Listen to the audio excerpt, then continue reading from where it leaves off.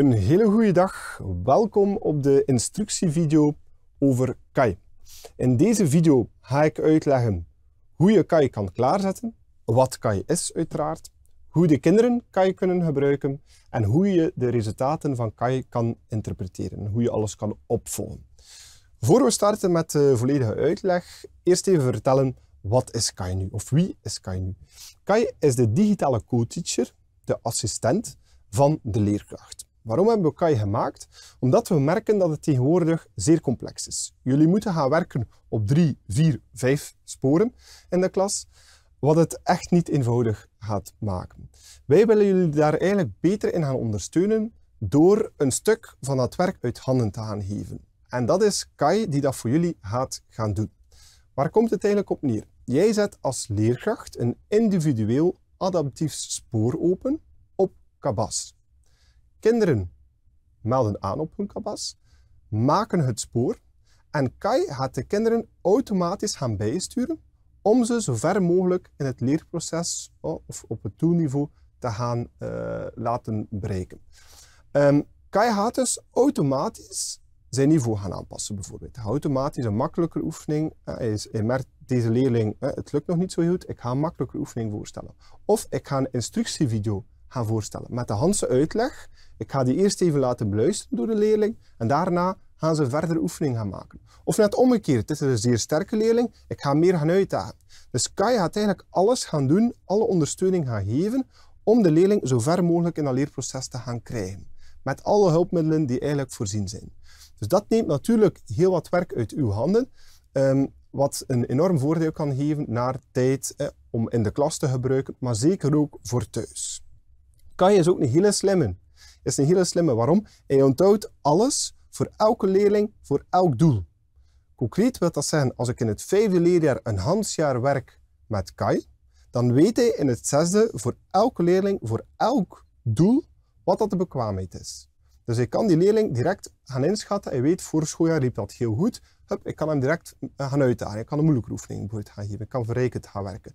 En zo gaat hij dat constant voor elk kind opnieuw gaan evalueren. Dus een zeer zinvolle en nuttige tool om te gaan gebruiken in de klas, uiteraard. Hoe ga je dit nu concreet gaan klaarzetten? Dus eigenlijk zeer eenvoudig. Je meldt aan als leerkracht op uw kabas, zoals je anders ook aanmeldt. En dan zien we paspartout staan en klikken we op het lesmateriaal. Bij het lesmateriaal zien we onze KAI daar bovenaan leren, zien we daar. Als ik daarop klik, daar kan ik eigenlijk de leersporen klaarzetten. Um, Wanneer kan je KAI gebruiken? Je kan hem gebruiken bij een startreeks. Dat is in het begin van het vijfde of in het begin van het zesde leerjaar. En dat is eigenlijk een vorm van pretoetsing. Dat is eigenlijk een beginsituatie dat je in kaart gaat brengen. Eh, in het begin van het vijfde leerjaar hebben ze nog geen Frans gekregen. Um, kan je eigenlijk gaan checken wat, wat de voorkennis. Is dat een tweetalige leerling? Is dat een zeer zwakke leerling? Doordat we die voorkennis gaan, gaan uh, maken, of de leerling beter, ga jij als leerkracht, maar ook KAI, gaat heel wat info krijgen om die leerling verder te gaan inschatten. Stel dat die leerling zeer sterk is, dan weet hij al bij een volgende oefenreeks direct van oké, ik kan die leerling hier makkelijker gaan uitdagen. Of net omgekeerd. In het begin van het zesde leerjaar, ja, er is, er, er is twee maanden vakantie geweest, er gaat wel wat verloren. Wat is er allemaal exact nog gekend eh, of waar ga ik wat meer ondersteuning moeten geven? Dat is in het begin van een leerjaar dat je kan gebruiken. Dan heb je dat ook bij elk contact en ook bij het herhalingsblok. Daar kan je ook telkens een KAI-leerspoor gaan klaarzetten. Hoe doe je dat nu? Zeer eenvoudig. Je gaat naar het contact waarvoor je KAI wil klaarzetten. Ik zie dat contact 8 open staat. Ik wil bijvoorbeeld contact 9 openzetten. Dan klik ik op het sleuteltje of het slotje beter ernaast en het staat open. Zo eenvoudig is het. Dus het is echt niet moeilijk. Um, dat werkt ook altijd met dezelfde structuur. Uh, het volgt eigenlijk dezelfde structuur dat jullie ook gebruiken in de handleiding. Dus het vertrekt vanuit het dialoogje, het gaat naar woordenschat, je gaat naar woordenschat gaan werken, naar grammatica. En zo doorloopt de leerling eigenlijk het traject waarbij dat je constant gaat bijsturen. Um, hoe ziet de leerling dan nu precies? Daarvoor gaan we even naar een Kabas leerling. Dus ze melden aan op Kabas zoals ze dat anders ook doen. En ze komen op dit scherm terecht. We zien hier direct oefenen met Kai staan. Ik klik daarop dan kom ik op dit scherm. En hier zien we eigenlijk heel mooi per contact wat er allemaal open staat. Dus ik heb bijvoorbeeld contact 1 volledig doorlopen. Ik zie dat dat balkje volledig is. Maar bijvoorbeeld contact 3 heb ik nog niet volledig doorlopen. Daar is maar de helft van het balkje gevuld. Ik ga even verder gaan op contact 4. En dan komen we op dit scherm terecht. Ziezo. Waarbij ik al gestart ben. Waarbij dat kan je ook gaan zeggen van kijk, oké, we hebben rond de woordenschat gewerkt, nu gaan we iets gaan doen rond de grammatica. Dus kan je de kinderen echt bij de hand gaan nemen en zeggen van kijk, dit moet je nu gaan doen, hier moet je op gaan klikken. Gaat ze ook gaan motiveren, gaat zeggen goed gedaan, maak nog een oefening eh, om op die manier dat ganse traject te gaan doorlopen. Dus als ik nu op avoir vervoegen zou klikken, dan komt er eigenlijk een oefening op het werkwoord avoir. Ik zie ook dat ik voor, uh, voordien ook al uh, twee zaken gemaakt heb. Ik ga daar even op inzoomen. Uh, zo, dat is de Xnapometer. Uh, op deze manier gaan kinderen van zichzelf ook gaan zien in hoeverre dat ze nog verder moeten oefenen om een volledige bekwaamheid te bereiken of niet. Hier zie ik bijvoorbeeld, en het staat er ook bij, nog moeilijk, dat ik nog verder zal mogen oefenen. Bijvoorbeeld bij een herhaling zal nog verder op die oefening uh, gewerkt worden, of op dat doel beter gewerkt worden. Hier zie ik heel sterk, dit is volledig beheerst. Ik krijg ook een diamantje, dat wil zeggen dat ik echt wel zeer goed heb gedaan. Heel sterk staat er ook bij. En dit motiveert de kinderen ook om het echt wel op een goede manier te gaan doorlopen. Um, als leerling ga ik dat traject dus gaan uh, door, door, uh, ga ik door dat traject. En dan krijg je als leerkracht uiteraard ook de resultaten daarvan. Kan je dat ook gaan opvolgen. Want als leerkracht is het wel een beetje uh, loslaten. Hè. Uiteindelijk zet je een leerspoor open, maar je weet niet precies wanneer wat uh, kan je gaat gaan klaarzetten of gaan voorstellen. Uh, uiteraard is het dus wel belangrijk dat je dat mooi kan opvolgen via het leerkrachtenplatform. Dus ik ga even terug naar de leerkracht. En dan gaan we naar de resultaten. En die resultaten kan je ook vinden op dezelfde plaats als andere resultaten van digitale oefeningen. Dus dat zit onder deze knop. Staat er ook resultaten, dus spreek voor zich. Maar dan moet ik klikken op KAI. Dat zie je hier bovenaan. Als ik klik op KAI, dan zie ik ook de verschillende methodes waarvoor er digitale en individuele leersporen uh, ter beschikking zijn. We hebben dat voor Fluo, dat is verkeer.